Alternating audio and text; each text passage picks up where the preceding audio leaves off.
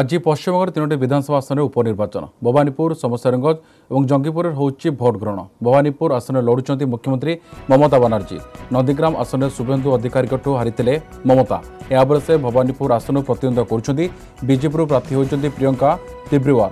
Trinamool Congress booth কব্জা করুথার অভিযোগ করেছেন প্রিয়ঙ্কা মমতা এই আসনর দুই হাজার এগার এবং দুই হাজার ষোহরে পূর্বর বিজয়ী হয়েছিলেন